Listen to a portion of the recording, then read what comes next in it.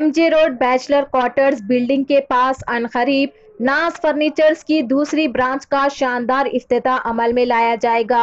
नास फर्नीचर जो कि एक menu chairman A eighteen Telangana news Mohammad Azam Ali वो पैसा कहाँ से लाई? मेरा मेरे को मालूम है। कौन देता? सपोर्ट कौन करता है? मेरे हस्बैंड को जॉब नहीं मेरे को जॉब नहीं है। बहुत प्रॉब्लम हो रहा लेकिन समझ रही नहीं पब्लिक ये स्टोर वाले समझ रहे नहीं हम लोगों को कुछ भी सपोर्ट नहीं है। जान E S I P F है वो भी नहीं। कुछ किसी बात की हमको फैसिलिटीज़ नहीं है।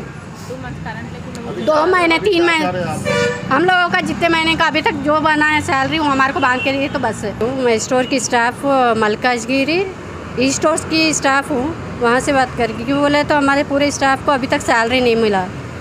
पाँच छः महीने का पेंडिंग है, रे, कल, परसों कल, परसों करके, यानी कि दस दस दिन का गैप रखते हुए अभी तक हम लोगों को सैलरी नहीं है। हम लोगों के घर की परिस्थिति बहुत ख़राब है।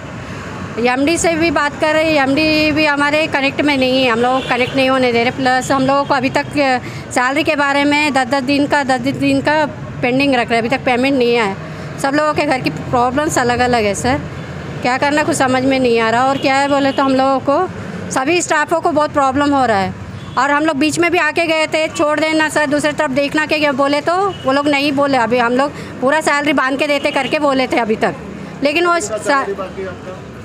हमारा सैलरी अभी तक मैक्सिमम पाँच छः महीने का पेंडिंग है सर। पाँच नौ हज़ार सर। हम लोगों को एक एक स्टाफ को नौ हज़ार का सैलरी आता है लेकिन वो स्टाफ का सैलरी अभी तक नहीं आया। मैं नहीं देने की वजह बोले तो पैसा नहीं है अभी तक। स्टोर है बंद करने स्टोर लॉस में है। करके बोले। और ये वाला मालकपेट का स्टोर है। हम ये ये स्टोर पीपल स्मार्ट करके है ये वाला। हम लोग हैं मलकाजी स्टोर के हैं। मलकाजगिरी स्टोर से है। स्टाफ हम लोग। जी सर। क्यों बोले तो आज के दिन का टाइमिंग दिए थे। इसके पहले भी आके गए थे हम लोग। लेकिन कुछ रिस्पांस नहीं आया। तीस फिर से और कुछ टाइम रखते कि हम लोगों से सबर नहीं हो रहा सर। नहीं हो सक रहा हम लोगों से। क्यों बोले तो पाँच छः महीने का पेंडिंग किराया बांधना बच्चों की फ़ीस बांधना। घर का रेंट निकालना, हर चीज़ का प्रॉब्लम सॉल्व करना, बोले तो नहीं हो रहा हम लोग। मेरा हस्बैंड हॉस्पिटल में कल चालीस हज़ार रुपये पे करी सर मैंने। वो पैसा कहाँ से लाई? मेरा, मेरे को मालूम है। कौन देता? सपोर्ट कौन करता है? मेरे हस्बैंड को जॉब नहीं, मेरे को जॉब नहीं बहुत प्रॉब्लम हो रहा लेकिन समझ रही नहीं पब्लिक ये स्टोर वाले समझ रहे नहीं। हम लोग कुछ भी सपोर्ट नहीं है। जान E S I P F वो भी नहीं। कुछ, किसी बात की हमको फैसिलिटीज़ नहीं है। दो महीने, तीन महीने। हम लोगों का जितने महीने का अभी तक जो बना है सैलरी वो हमारे को बाँध के लिए तो बस है।